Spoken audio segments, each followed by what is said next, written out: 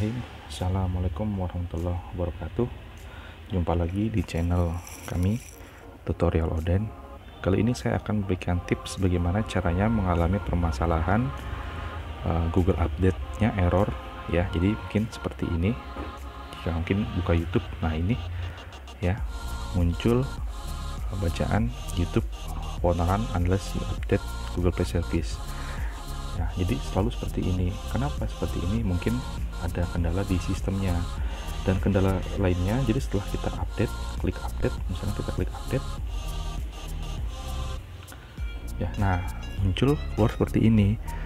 Autentikasi is required you need to sign into your Google account. Nah lalu bagaimana mengatasinya? Nah salah satu jalan adalah kita harus melakukan clear data dan clear cache di installation settingnya. Jadi kita harus ke setting kita harus ke setting sini.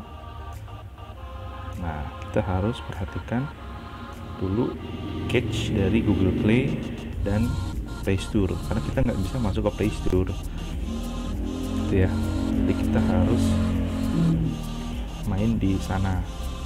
Oke nah ini kita sudah ke Google Play Store. Sekarang coba kita klik Google Play Store nya coba kita clear cache dulu dan clear data. Ya yang pertama itu. Nah yang kedua kita coba clear cache dan clear data di Google Play service-nya yang tadi error. Nah ini ya clear datanya. Nah untuk clear data ini nggak bisa ya. Tapi kita coba dulu apakah sudah berhasil cara ini? Kita balik lagi. Ya apakah sudah berhasil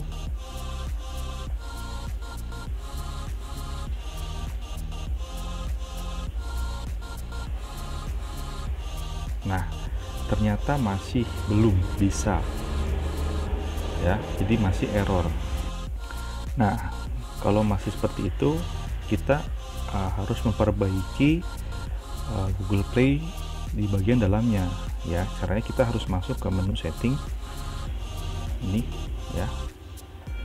Lalu kita pilih additional setting. Lalu kita klik privacy dan kita pilih device administrator. Lalu kita hilangkan centang di Android device manager dan di deactivate.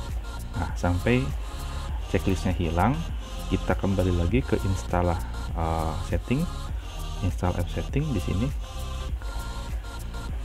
Nah sekarang kita balik lagi ke Google Play Service-nya. Apakah bisa kita hilangkan datanya? Karena tadi tidak bisa kita hilangkan.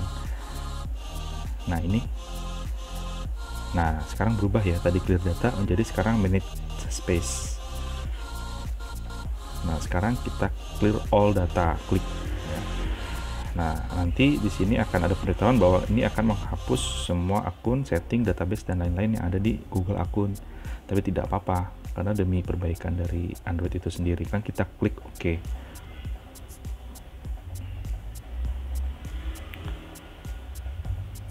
Nah, berubah ya dari 183 MB tadi menjadi 52 KB. Artinya sudah terhapus di manage space-nya. Setelah itu kita coba untuk lakukan update. Nah, sekarang kita coba balik lagi ke aplikasi yang tadi, YouTube. Kita coba update. Apakah bisa? Berjalan. Nah ini sudah bisa ya. Tapi ada dua pilihan yaitu deactivate atau update. Nah yang harus kita lakukan adalah kita harus update Google Play Service nya nah kita klik update.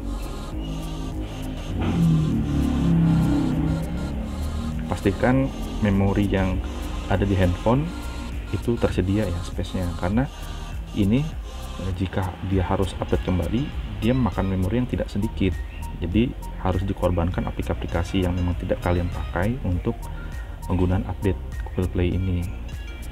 Ya proses instalasinya berjalan.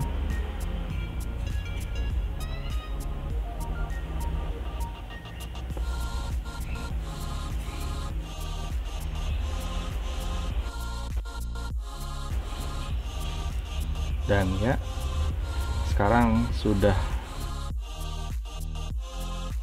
terin bacaan open dan artinya jadi seperti ini kalian sudah berhasil mengupdate Google Play Service. Yang artinya semua aplikasi yang tadi error ya. Ini. Yang tadinya rata kebanyakan error. Itu sudah bisa kalian gunakan ya. Contoh YouTube. Ini ya. Sekarang kita lihat